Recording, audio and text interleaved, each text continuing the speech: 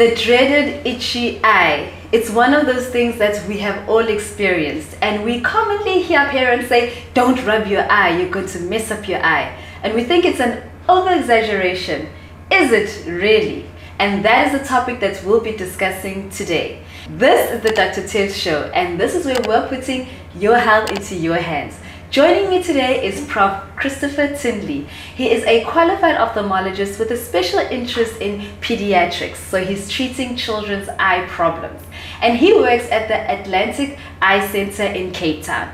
Thank you so much for joining me today, Prof. Tinley. Thanks for the invitation, Tebo. so, you know, um, Prof, we know that itchy eyes and red eyes commonly happen together. You know, not always, but they commonly do. So I'm going to ask you first and foremost, when is a red eye, you know, dangerous when it comes to a child? A red eye is dangerous in a child if it's associated with other symptoms in the eye, such as loss of vision or severe pain or severe redness.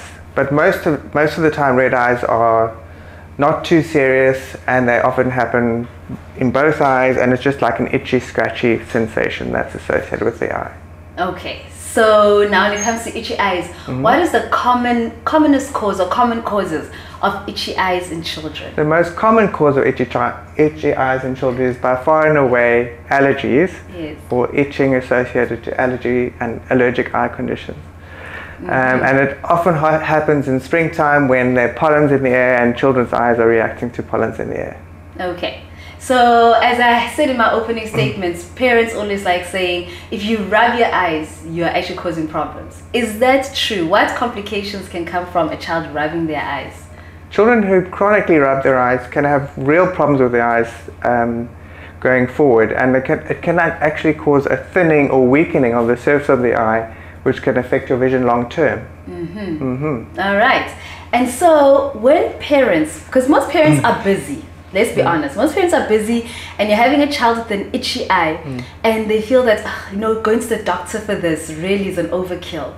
So what can they give safely over the counter? What can they get to treat the child's eyes in the meantime?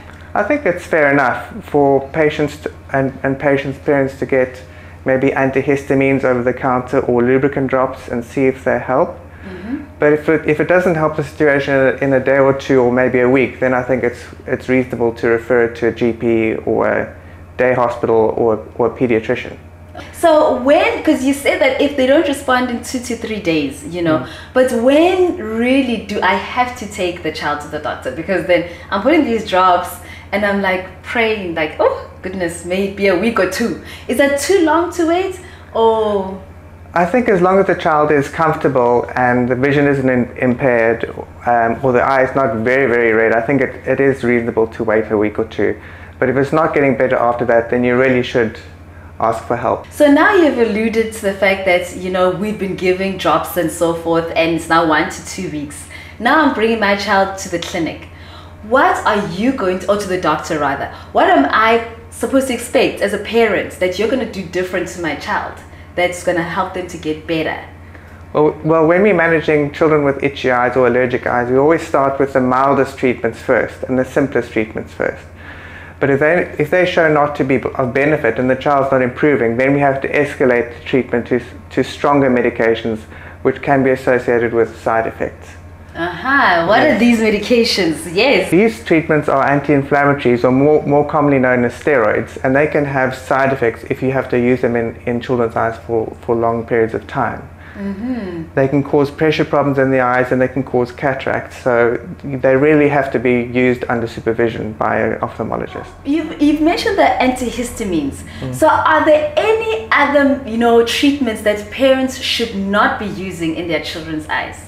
For this eye? That's a very uh, good question, Dr. Tebo. Uh, in traditional areas in South Africa, it's, it's quite common practice to use traditional medicines, and some of them can be extremely harmful for children's eyes. So, in some places, um, healers recommend using breast milk or even urine to treat eye infections or itchy eyes, and this, these can be very dangerous. So, be careful about using those. Rather, seek professional uh, advice before putting um, medications in your children's eyes.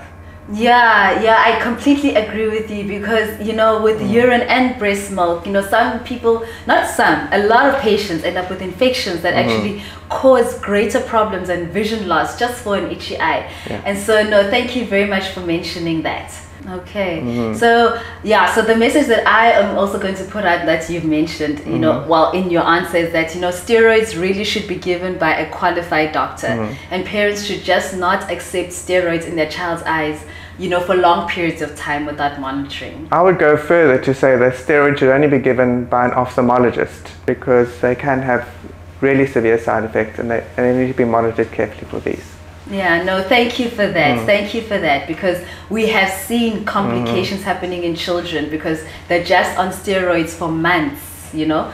Yeah, so we'll not go down that road. We won't. But yes, that's the message that you parents should know about. Mm-hmm. Okay, so now, um, Prof, can you tell us where can parents take their children um, when they're having these itchy eyes? You know, where government, private, a normal clinic, or an ophthalmologist? Who is best suited to treat this problem? Because it's a very common problem, the first place you can you can go to is your community eye clinic or your day hospital and see if you can see a nurse there who can prescribe first line treatment. If they feel that the condition is more severe or the eyes are very very um, inflamed, they can refer you to a, a government hospital or or a GP. Okay, so thank you, Prof, so much. So, do you have any closing thoughts on this topic? Yeah, sure. So itching eyes in children is quite common. Don't leave your child if he's got a chronically itchy eye. There are very effective treatments for it.